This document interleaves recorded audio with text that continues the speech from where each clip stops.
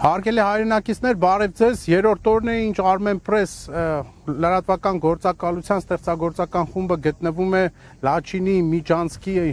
մուտքի մոտ Հակարի կամրջի հարևանությամբ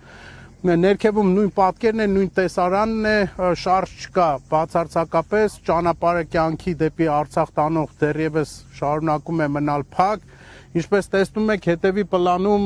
ավտոմեքենաներն են, սա մեքենաների մի հատվածն է միայն, վերևում նույնպես կանգնած են ավտոմեքենաները, թվով 19 մեքենաներ, որոնք մոտ 400 տոննա մարդասիրական բեռ են տեղափոխելու Լեռնային Ղարաբաղի Հանրապետության մեր կարիքավորներին։ Ինչպես նախորդ օրերի ընթացքում մենք արդեն ցած տեղեկացրել ենք, որ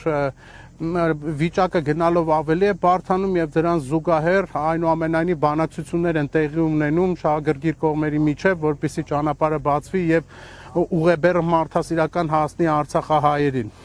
Այս ընթացքում գիտեք, որ ամբողջ աշխարհում տարբեր երկրներում հնչում են արդեն հայտարարություններ Լաչինի Միջանցքի բացման հետ կապված, մասնավորապես հայտարարություններ են արել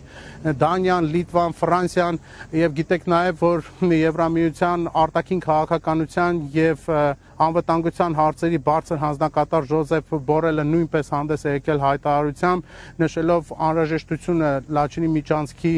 անհապաղ բացման, որպիսի երկկողմանի երթևեկություն լինի եւ կյանքի ճանապարհը բացվելուց հետո խնդիրները մարդասիրական իրավիճակի հետ կապված լուծվեն։ Մարդիկ հույս ունեն, որ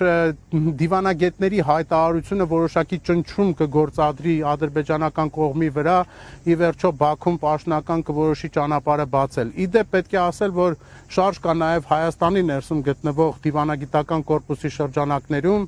մասնավորապես